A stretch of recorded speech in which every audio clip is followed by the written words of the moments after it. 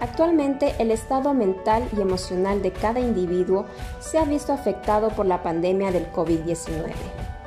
En estos momentos es importante que todos compartamos cómo estamos enfrentando esta situación.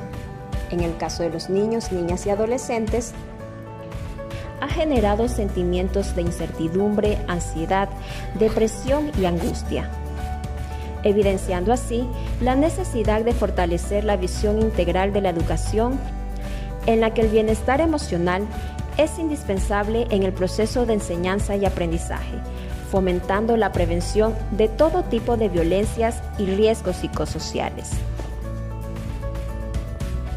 Mantener normas de convivencia que favorezcan relaciones de respeto y solidaridad ayudarán al desarrollo de habilidades socioemocionales y cognitivas por eso, se realizará una entrevista socioemocional a los estudiantes como diagnóstico pedagógico para la identificación de aspectos socioemocionales en el contexto del COVID.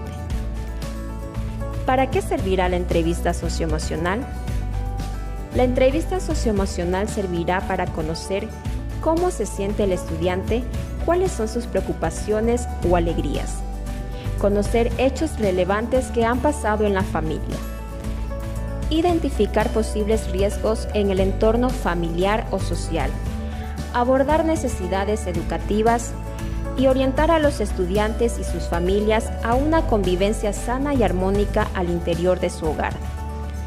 Para iniciar este proceso, el docente tutor se pondrá en contacto con el representante legal de cada estudiante mediante llamada telefónica o por cualquier medio digital para obtener la respectiva autorización en la entrevista socioemocional. La misma que puede ser impresa o transcrita a una hoja para ser firmada por el representante legal.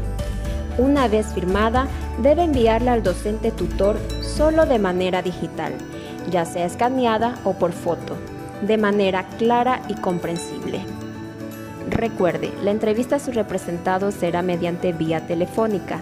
De ninguna manera se convocará al estudiante a la institución educativa.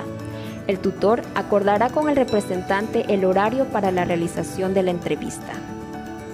Ojo, esta autorización no tiene nada que ver con el ingreso a clases de su representado de manera presencial.